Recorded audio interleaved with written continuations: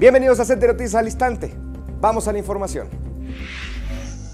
Tras la ceremonia protocolaria del banderazo y arranque de maquinaria que marca el inicio de la construcción del cuarto centro maestro de bienestar del CENTE en Allende, Nuevo León, bajo la premisa del bienestar de los agremiados como prioridad, el secretario general maestro Alfonso Cepeda Salas, en su mensaje expuso a la secretaria de Educación leonesa, María de los Ángeles Errizurriz Alarcón, las principales demandas del magisterio en la entidad, entre estas la basificación argumentó que el sindicato está en desacuerdo en quienes han trabajado durante 5 y hasta 9 años de pronto vean suspendido su contrato.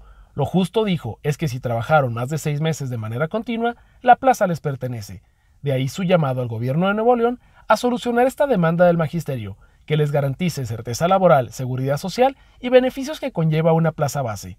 Con relación al Centro Maestro de Bienestar que se edificará en 2.5 hectáreas, destacó que hace unos días colocó la primera piedra de lo que será el tercero en Tecate, Baja California, y detalló que, junto con los que ya operan en Cuernavaca, Morelos y Cajitlán, Jalisco, atenderán de manera integral y alternativa a la salud física y emocional de agremiados.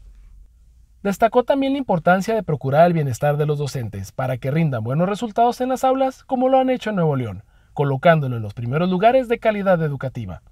Ante los líderes de las secciones 21 y 50, profesores Guadalupe Adolfo Salinas Garza y José Luis López Rosas, así como de la directora del programa Centro Maestro, Josefina González Luna, empeñó su palabra de maestro de consolidar la unidad nacional, la transformación sindical y la democratización del CENTE.